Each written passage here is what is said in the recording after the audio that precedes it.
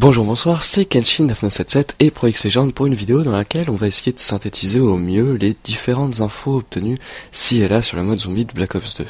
Donc si jamais vous avez l'impression d'avoir déjà entendu certains éléments qu'on va citer, c'est normal. Déjà, le lieu du mode zombie sera le New Jersey et il comportera 4 modes de jeu. L'un de ces modes est le mode Grief. Dans ce mode, on aura deux équipes composées de 4 joueurs. Pour gagner, il faudra être la dernière équipe en vie.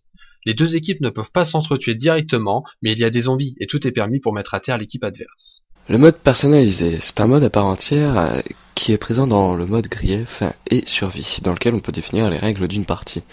Dans les options, on peut choisir la zone où l'on apparaît, quatre zones au total, dont deux connues qui s'appellent Town et Farm, la difficulté, facile ou normale, la manche à laquelle on débute, 1, 5, 10, 15 ou 20, avec ou sans magie, aucune info là-dessus, je sais pas à quoi ça correspond, et avec ou sans headshot seulement.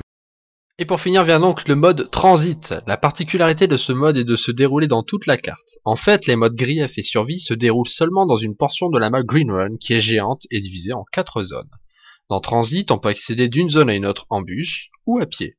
En bus, un automate prend le volant et vous faudra défendre le bus des zombies. Alors qu'à pied, bah, des trucs chelous vous sautent dessus. On pourra aussi crafter des armes, des accessoires, des améliorations pour le bus à partir d'objets récupérés à divers endroits de la map Green Run. Avec le trailer du mode sorti, quatre nouveaux personnages font leur apparition sans savoir si nos habituels protagonistes seront de la partie. On sait que le mode zombie aura un mode studio identique ou similaire à celui présent dans Black Ops et Modern Warfare 3. On connaît aussi la liste des succès de Black Ops 2 et plus particulièrement 10 qui portent sur le zombie qu'on vous invite à découvrir par vous-même via le lien dans la description. Il y aura aussi un classement et des stats perso où l'on connaîtra entre autres le ratio de headshot, le nombre de parties jouées, le nombre de fois où l'on est mort, la précision, le nombre de kills, etc. Donc voilà toutes les infos qu'on a jugées pertinentes pour l'instant.